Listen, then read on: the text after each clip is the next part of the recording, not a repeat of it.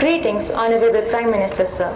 I'm Erika George from APS Udhampur, Jammu and Kashmir from 9th. Sir, the question that I wanted to ask was nowadays there's a lot of competition, especially in the academic fields and in a country like India.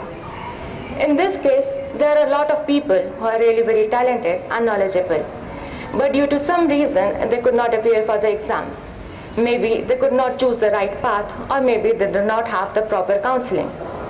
So, sir, in this case, what can we do for these people so that the talent of these people does not go to a waste and instead can be utilized in a better and efficient way? Thank you, sir. Thank you, Erika. Honorable Prime Minister, sir. Hari Om Mishra, a class 12 student from Industrial Hub, Gautam Budh Nagar, Uttar Pradesh, is preparing for his board exams and wishes to ask a similar question that has been invited by a competition organized by ZTV. Hari Om, please ask your question.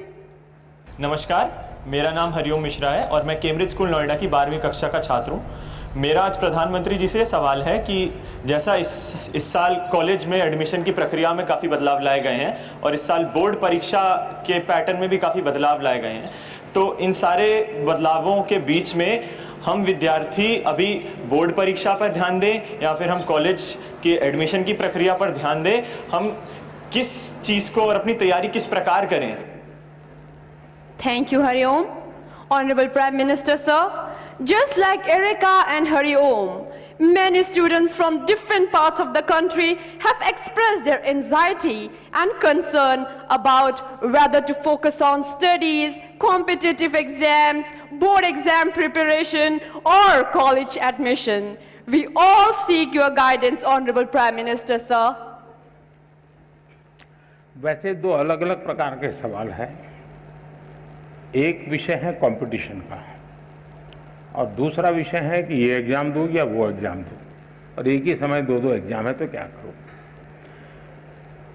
मैं नहीं मानता हूँ कि हमने exam के लिए पढ़ना चाहिए। गलती वहीं हो जाती है।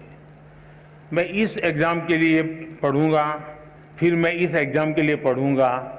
इसका मतलब हुआ कि आप पढ़ नहीं रहे हैं।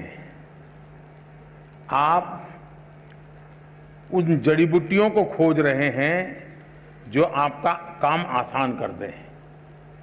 और शायद इसी के कारण हमारे लिए अलग अलग एग्ज़ाम अलग लगते हैं, कठिन लगते हैं।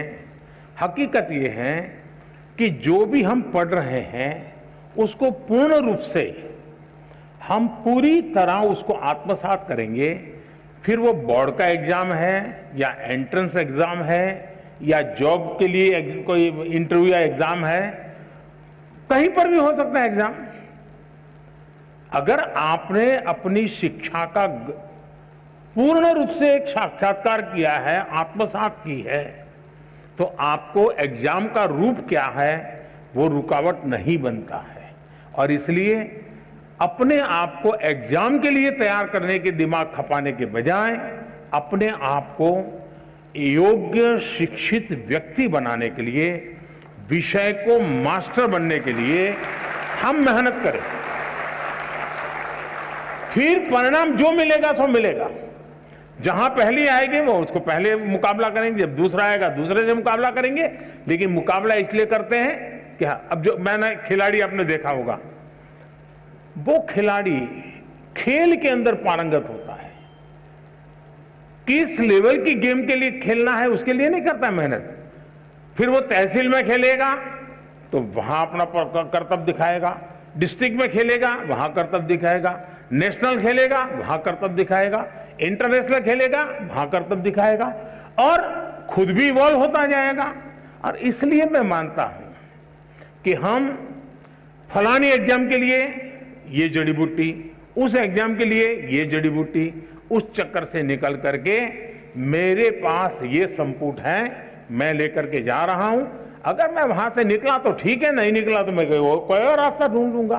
तो मुझे लगता है कि एक तो इसमें ये सोच रहा चाहिए दूसरा कंपटीशन देखिए दोस्तों कंपटीशन को हम जीवन की सबसे बड़ी सौगात मानना चाहिए।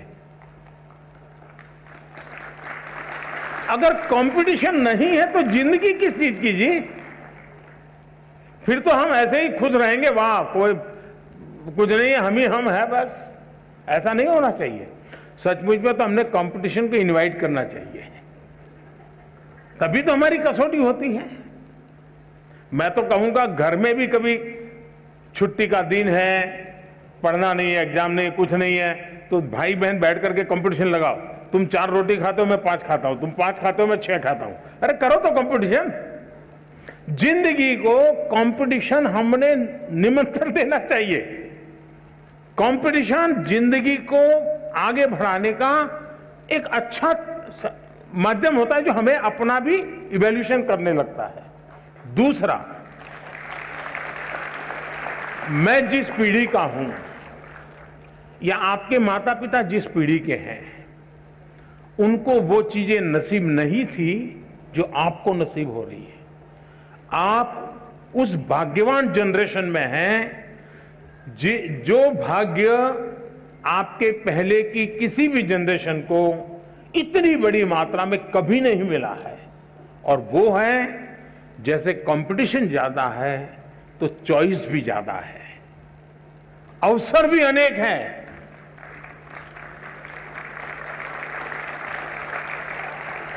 आपके परिवार में इतना अवसर नहीं थे, आपने देखा होगा, दो किसान हो। मान लीजिए, उसकी भी दो एकड़ भूमि है, इसकी भी दो एकड़ भूमि है। लेकिन एक किसान है, चलो भाई, गुजारा करना है, गन्ना की खेती करते रहो, अपना गुजारा चल जाएगा। दूसरा किसान है, वो सोचता है, नहीं नहीं दो एकड़ भूमि है, ऐसा करूँगा वन थर्ड ये करूँगा वन थर्ड ये करूँगा वन थर्ड ये करूँगा। पिछली साल ये किया था तो इस बार ये करूँगा। ये दो चीज़ें नहीं करूँगा। आप देखेंगे कि वो जो दो एकड़ भूमि में ही ऐसे ही आराम से बैठा हुआ, गुजारा कर लेता है। ज़िंदगी ठहर जाती है, जो रिस्क लेता है, प्रयोग करता है, नई चीज़ लेता है, नई चीज़ जोड़ता है, वो इतना आगे बढ़ जाता है कि ज़िंदगी में कहीं रुकने का नाम नहीं लेता है। वैसा ही वैसा ही हमारे जीवन में है हमें गर्व करना चाहिए कि हम इतनी स्पर्धा के बीच में अपने आप को प्रूव कर रहे हैं और हमारे पास अनेक चॉइस है। ये स्पर्धा नहीं तो वो वो स्पर्धा नहीं तो वो वो स्पर्धा नहीं तो वो। ये रास्ता नहीं तो ये रास्ता ये रास्ता नहीं तो ये रास्ता। मैं समझता हूँ कि हम इसको अपॉर्चुनिटी माने, एक अवसर माने और मैं इन अवसर को छोड़ूँगा नहीं। मैं इस अवसर को कभी न कभी जाने नहीं दूँगा। ये भाव अगर पैदा करेंगे तो मुझे पक्का विश्वास है कि कंपटीशन आपके लिए इस युग के सबसे बड़ी सौगात के रूप में आप अनुभव करेंगे।